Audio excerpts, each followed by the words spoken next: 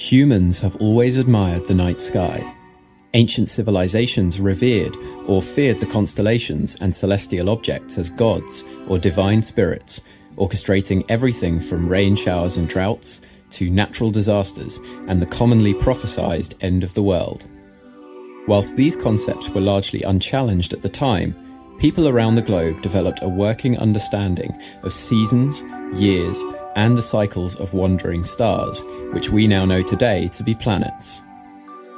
And from the time of Aristotle, the most widely accepted cosmological models placed our planet, Earth, firmly at the centre of the universe.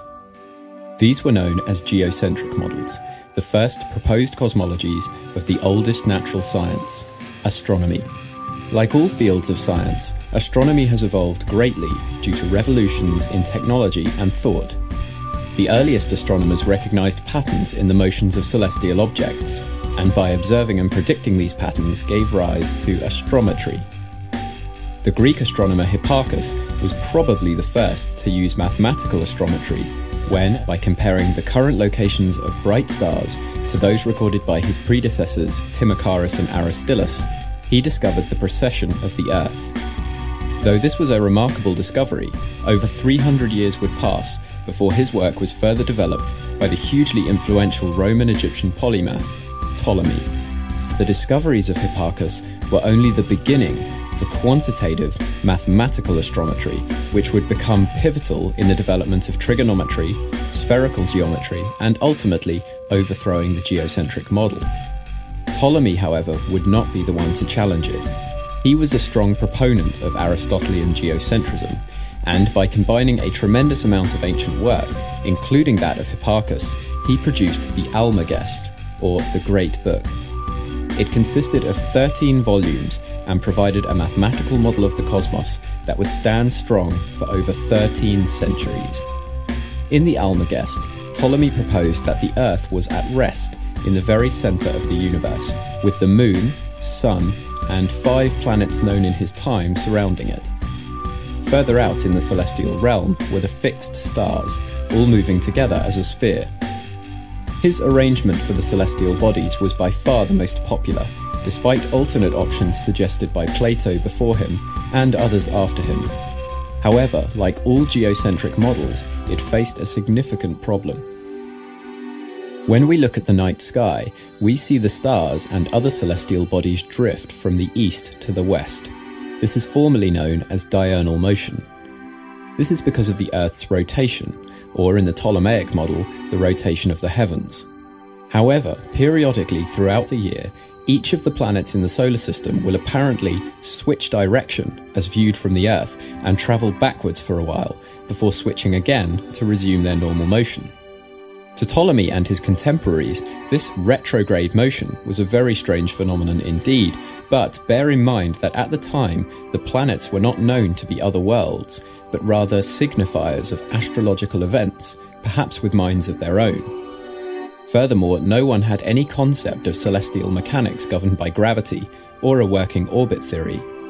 Ptolemy insisted, however, on a mathematical explanation. After all, the job of the astronomer was to make accurate predictions about the locations of the planets and constellations so that astrologers could draw interpretations. To solve the problem, he adopted the work of one of his predecessors, Apollonius, from around three centuries beforehand. Apollonius had devised a system whereby planets travelled around circles called epicycles. Each epicycle then travelled on a much larger circle called a deferent. Ptolemy further developed this by placing the centre of each deferent halfway between the Earth and a point he derived known as the equant.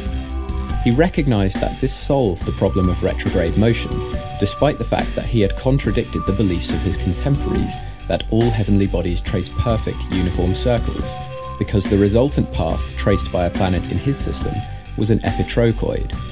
But this actually solved another problem as well the changes in the apparent distances to the planets.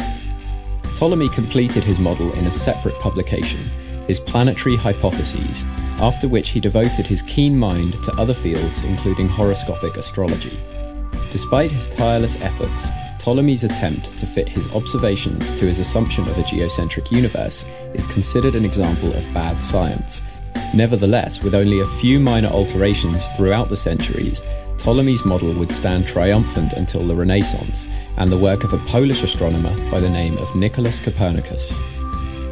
In 1543, after over three decades of work, Copernicus published his magnum opus on the revolutions of the celestial spheres, six books in which he presented the first scientific heliocentric cosmology, that is, with the Sun at the centre of the universe.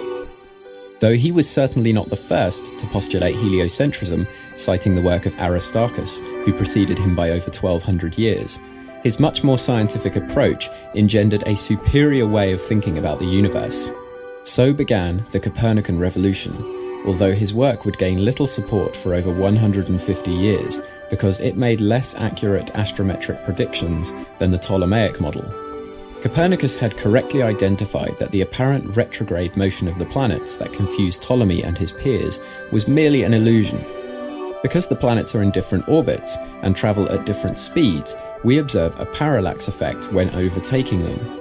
This also applies when the inner planets, Mercury and Venus, overtake the Earth. It could be said that early acceptance of the Copernican model came about for the wrong reasons. Proponents of his theory liked his use of circular orbits in agreement with the still widely believed notion of the perfect heavens.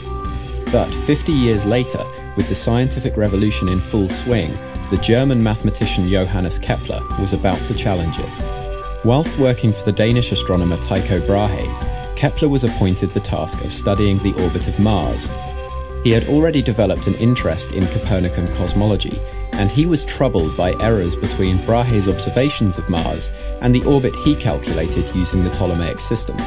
He instead decided to try using non-circular orbits in a Copernican system, and after many failed attempts, he arrived at a shape he had previously thought to be too simple, an ellipse. Four years later, in 1609, he published his Astronomia Nova, the New Astronomy, in which he presented two of his three laws of planetary motion, the third to be discovered a decade later. This would be another landmark work that would not immediately gain support. In fact, it was almost entirely overlooked, despite some independent verification from several astronomers. His most influential work would not be complete until 1621, the epitome of Copernican astronomy. It contained all his laws of motion, and after his death in 1630, it would enlighten many astronomers worldwide. In the same year that Kepler published The New Astronomy, a Tuscan scientist was familiarizing himself with a new type of technology for observing things at great distances by using the principles of optics that had been developed during the last 2,000 years. Galileo Galilei had been making alterations to his telescope, a design he adapted from that by a Dutch lens maker from the previous year. With this remarkable invention, he began to observe the night sky in a whole new way, and in January 1610, he discovered what we now call in his honour the Galilean moons Callisto, Europa, Io, and Ganymede. At first, he believed them to be dim stars, but over several days he observed their motion and concluded that they were actually orbiting Jupiter. Many of his peers refused to believe him, as such a discovery was not consistent with Aristotelian cosmology. Later that year, Galileo went on to discover that Venus exhibited a complete set of phases similar to the Moon. This was his single most important observation. Though it did not confirm the heliocentric model, it proved that Venus orbited the Sun. Perhaps then other planets might as well. Galileo faced tremendous opposition from the Catholic Church for defending Copernican heliocentrism, despite attempting to reconcile his findings with Scripture. He spent his last years under house arrest, but the seeds of doubt had already been sown. Heliocentrism would slowly claim its rightful victory over geocentrism. Galileo's methodical approach marked the true beginning of modern scientific astronomy. He is known as the father of modern science, the first to lay the foundation for the scientific method, favouring experimental verification over assumption and supposition. With the new scientific method, great physicists and mathematicians such as Isaac Newton, Joseph Louis Lagrange, and Albert Einstein would eventually develop the field of celestial mechanics, theories explaining the motions of celestial bodies in terms of their gravitational interactions. Today, the long lived astrometry and relatively young celestial mechanics are united under the banner of astrophysics. And 400 years after the introduction of modern science, astrophysicists are exploring a universe stranger and more beautiful than any of the figures in our story could possibly have imagined. In the next episode, we'll begin to look at the size of that universe.